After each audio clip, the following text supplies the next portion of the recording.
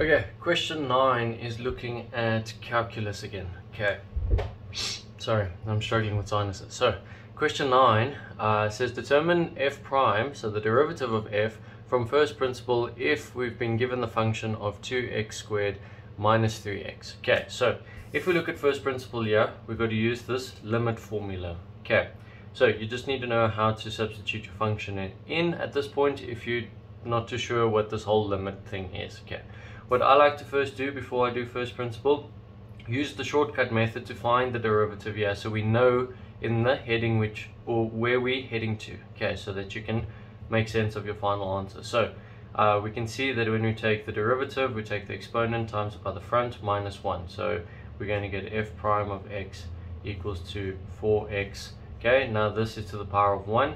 So 1 times negative 3 stays negative 3. And then when I minus 1 off here, this becomes 0. So this whole thing becomes 1. Okay, and that's my derivative. Okay, so that's where we've got to get to using first principle. So to find first principle, we're going to write out our formula. Okay, now wherever you see an x, you're going to substitute x plus h into your formula. Okay, uh, sorry, I'm not supposed to put the equal sign, that's just supposed to be a uh, divide. So at the top here, we're going to substitute x plus h into this place, so 2x plus h squared minus 3x plus h, okay? Now I need to minus off the original function. So minus, put it in brackets so that it makes it easier, so that you don't forget to carry the negative over, 2 minus 3x.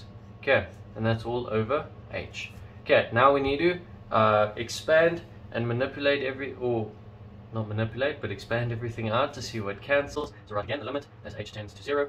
Okay, and then let's see. If I expand this over here, it's going to be 2. It's going to be x squared plus 2xh uh, plus h squared. Okay, minus, let's do this one over here, 3x, um, see, I forget to carry the negative, 3h. Okay, now we take the negative into the brackets, so minus 2x squared plus 3x, and that's all divided by h. Okay, so a quick hint for when you're doing this. Your original function, these values, or this one and this one, has to cancel out with, with the same from when we substituted x plus h in. Okay, so that's what we're always trying to find. So now let's have a look. We'll have the limit as h tends to 0 of 2x squared. Aha, we found that 2x. Okay, then we'll have plus 4xh. Okay, we're starting to head in the right direction because we needed a 4x somewhere. Okay, and then we'll have uh, uh, plus 2h squared minus 3x. Okay, that one's looking familiar. Okay, minus 3h. That's also looking familiar. Minus 2x squared uh, plus 3x all over h. Okay, so write the limit again as h tends to 0. Okay, so now we can see this 2x squared is going to cancel with minus 2x squared. Uh, then this minus 3x over here is going to cancel with this plus 3x over there.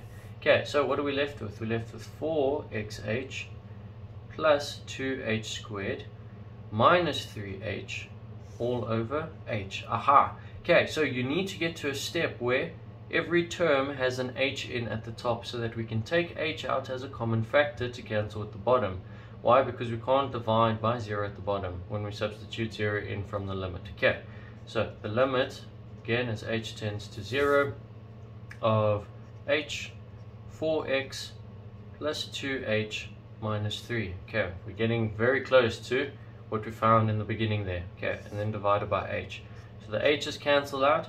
Now what we do is we substitute 0 into wherever we see an h. So we're going to have 4x plus 2 times 0 minus 3. Okay, and then we can see that our derivative f prime of x is going to be equal to 4x minus 3. Okay, and that's what we got at the top here. Okay, now let's have a look at 9.2.1. They're asking us to find the derivative, so dy dx. Find the rate of change of this function and it's given over there. So we can use the easy method for this one.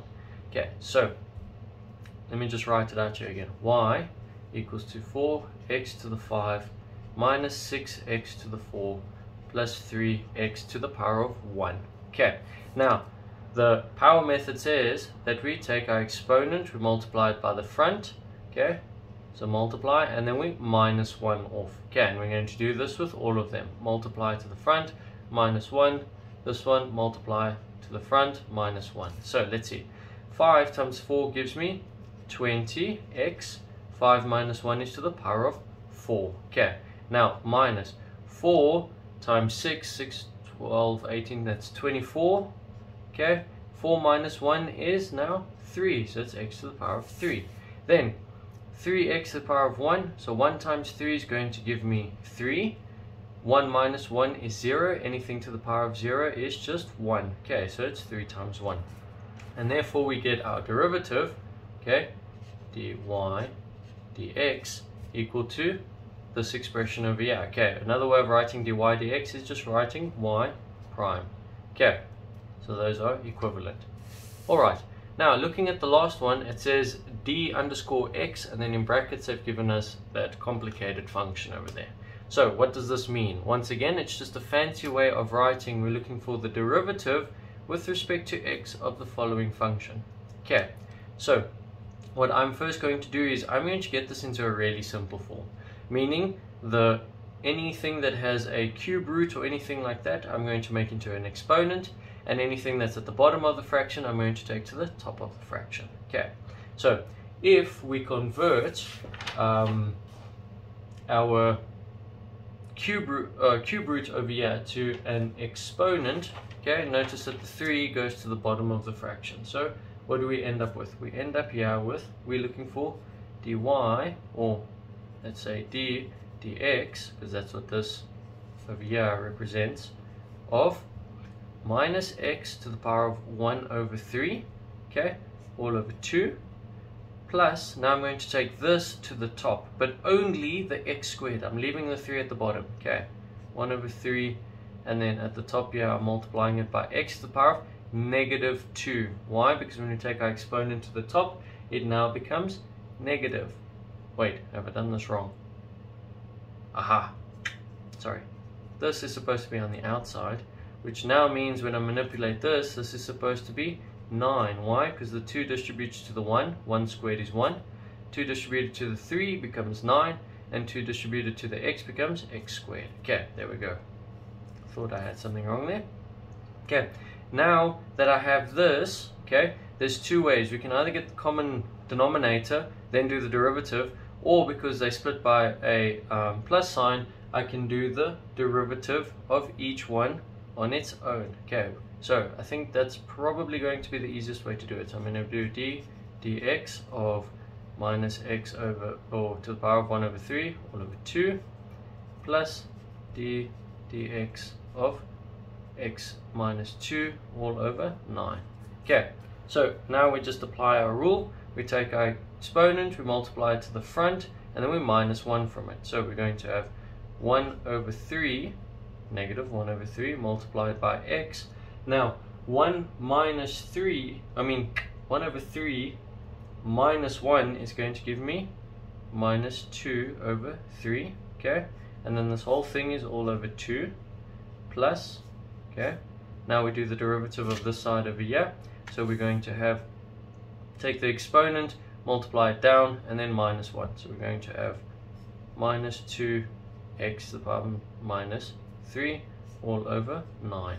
Okay, and therefore if we then simplify this, we can see that this 3 will multiply with the 2, so we're going to have negative um, x to the power of negative 2 over 3 all over 6 plus, now if we do this one over here, we'll just end up with minus 2 over 9 x to the power of negative 3. Okay, and you can leave your answer just like that.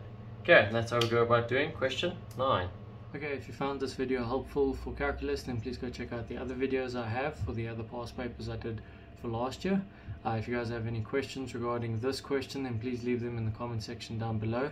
I'll get back to them as soon as I can. If you did enjoy the video, then please leave a thumbs up as well. It does help me out quite a lot. If you're not subscribed to the channel, then please consider subscribing to the channel. Turn on that notification uh, bell so that you are notified every time I release a new video. And remember, it's never too late to have an OIC moment.